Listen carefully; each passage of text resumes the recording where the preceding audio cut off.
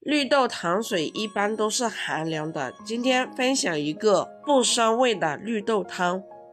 首先准备三十克绿豆，像现在是夏天，用绿豆来清热解暑是最合适不过。不仅能补充水分，而且还能及时补充无机盐。绿豆清洗干净，用水浸泡一个晚上。接下来准备适量的橘子皮。用剪刀把它剪碎。橘子皮可以燥湿化痰，用于湿痰、寒痰、咳嗽。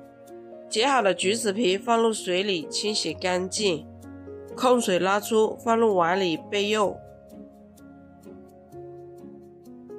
接下来再准备适量的甘草片，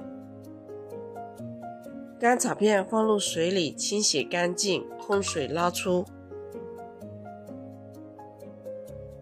接下来把橘子皮和甘草片放入砂锅中，加入适量清水，大火煮开，小火煮二十分钟。这是我提前一个晚上泡发好的绿豆，绿豆洗干净，控水捞出，放入碗里备用。接下来，橘子皮和甘草片的水全部煮出来了，把这些渣捞出来。然后把泡发好的绿豆放入进去煮，大火煮开，小火煮三十分钟。三十分钟之后，加入适量的冰糖，把冰糖煮至融化，就可以开吃啦。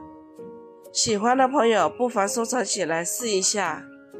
我是新妈，如果喜欢我的视频就关注我吧。感谢您的耐心观看，我们下个视频见。